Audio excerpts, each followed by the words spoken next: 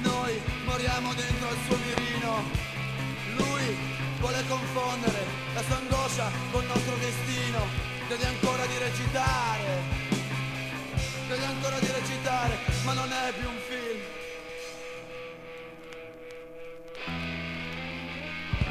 Ti avessi giustiziato,